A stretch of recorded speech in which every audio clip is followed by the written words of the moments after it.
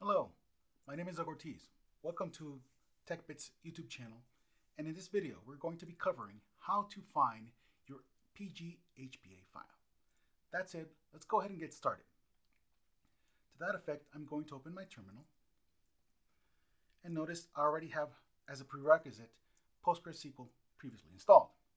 So for that, I'm going to type in how to log in as a Postgres user, which I'll need a password. And then once I am a Postgres user, I have a few options. The first one we're going to look at is going to psql directly and typing in show HBA file.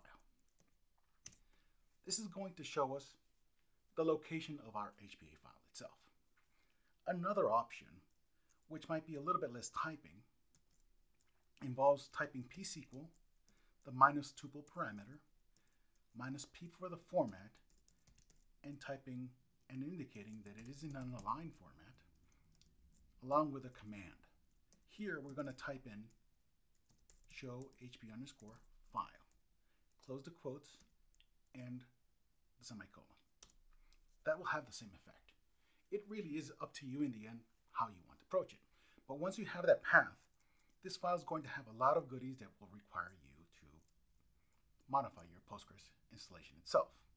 So that's it. Let's try viewing it. And you're going to see that we require admin permissions. So to that effect, I'm going to use sudo ahead of time, sudo etc bitc PostgreSQL. Since I'm using version 13, that is the location of my path and pga conf file. Notice, let's expand this. We have a total of 103 lines. You're going to find a lot of information here mostly logins, how you want to handle your IPv4, IPv6, your replication, etc., etc. That covers it for this video. Hope to see you in the next one. Thank you.